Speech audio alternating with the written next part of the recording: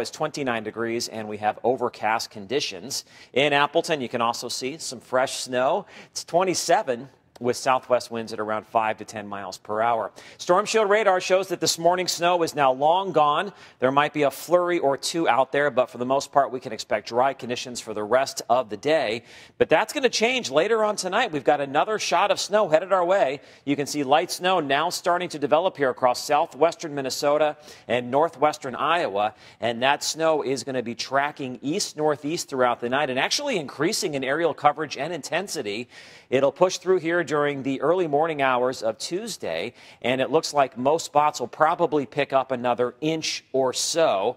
A dusting to around an inch up to the Fox Valley, an inch to two inches farther north and west of the Fox Valley. And then we've got more snow headed our way as we head into Tuesday night and Wednesday morning.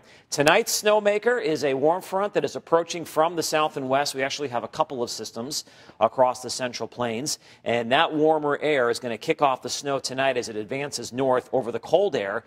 And we're also going to see some warmer temperatures as we head into tomorrow before some much colder weather returns for the middle part of next week. So after the snow ends, Probably before 7 a.m. for most of us tomorrow, we're going to see clouds mixing with some sunshine. There could be a stray pocket of drizzle, a flurry, or a sprinkle out there, not a big deal. High